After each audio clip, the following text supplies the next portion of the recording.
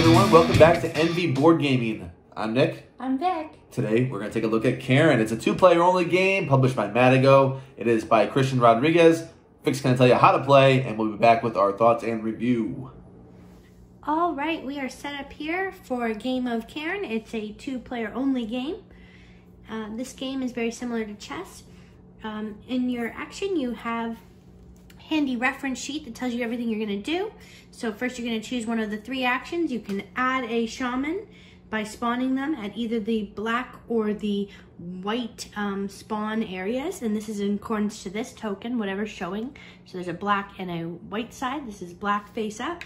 So right now you can only add a shaman to the black area. You can move a shaman in accordance to this tile rule, which right now is just left, right, or center ahead that way.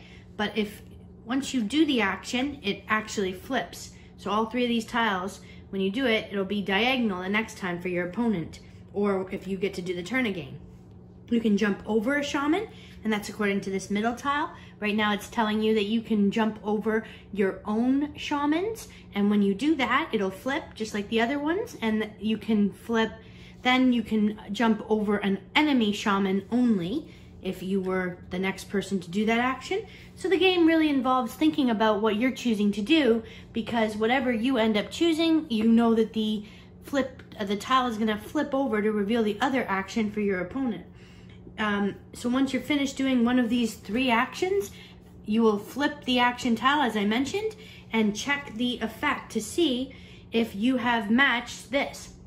This is how you score a round where you align your shamans in this um, configuration. So it's an enemy in the middle. If you achieve that somewhere on this board, you will score yourself a point and it tracks up here for each side.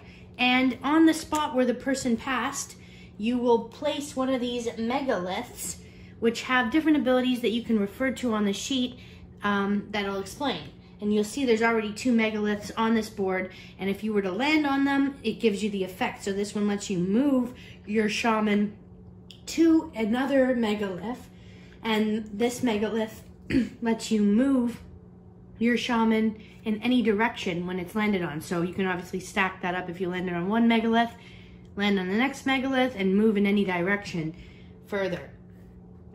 And once the first person achieves three trans transformations. So they've uh, completed three of these. You'll see on the other side, the other configuration is two of your own shaman and one enemy. When you've got three, you win the game. And that's how you play. All right, welcome back. So that was Vik's review. That was a pretty easy one, about two and a half minutes. I knew it'd be quick.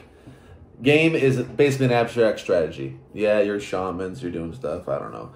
You're, it's just like chess, where there's some kind of theme there too, but not really. Um, so don't score on theme. We're going to score it on gameplay as a two-player abstract strategy game. I think it might be our first one we've covered. I could be wrong. I think that's the first one we've covered.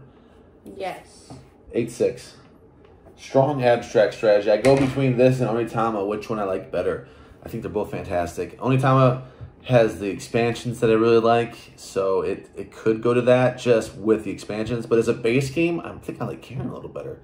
This one's really good. This one's a very strong score for an abstract strategy game for me because we don't play too too many of them. Um, I mean, it's it, it lets you get those moments where you're setting traps or you're feeling good or you know you're doing all these kind of things that you're trying to trick your opponent or you're just trying to make optimal moves to, for the future. Yeah. And it's not that much of a brain burner. It says uh, ages ten plus it's you're gonna sit there, you know, thinking about what if I do this, then what's your opponent gonna do? It's just like you would when you're playing Onitama and chess. It's just you know, it's not as in depth. So this it's a smaller board. You know, mm-hmm. these options ahead of you. You're always thinking just like an Onitama, just thinking of what your opponent gets, like what action, what movements they get when you do your action. So you're really in this game more than Onitama just as much. I can't say more than Onitama. You are really worried about what your opponent's going to get. You're hoping that they do a certain action. They do. They flip that to you, um, that side to you, and like, okay, now I got them, and so forth. You know, it's just back and forth. It's good fun. Vik? Yeah, I gave it an eight point one. Um, if I was a little better, I would give it the same score as Nick. Um, but I get smoked in this game. But it's okay because it's quick. You can play another game. We can do best of three. Um, and then I turn it into a best of five. When, but that's that's me. But I, I enjoy the game uh, a lot. I wasn't much of a chess fan actually. And Onitama, I don't reach for very often. I don't uh, ask Nick to play it. But this one, I ask him if we can play it. So that's encouraging. And I think that it's great that you uh, don't have in, um, the shamans with different powers. It's actually a megalith, like it's a spot that you go to uh, to have a, a, power. So it adds to the, the depth of the strategy because it's not just like, okay, this, like in chess, oh, this uh, pawn does this or this bishop does this and moves this way. They all move in accordance to the tiles that flip. So I think that's really great. And you even have to think about where you spawned your person because you have one person spawn on the black and then the white and you may have already exhausted that and you're waiting for your opponent to flip it so that you can have another chance to spawn a person. And when you lose somebody, when you have somebody's banished, it's not like the other person takes it. Like in chess where they take your person, like, oh, but it's not like that. So you actually get a chance to bring them back to life again if you can last that long before your opponent. I was just starting to love my rook.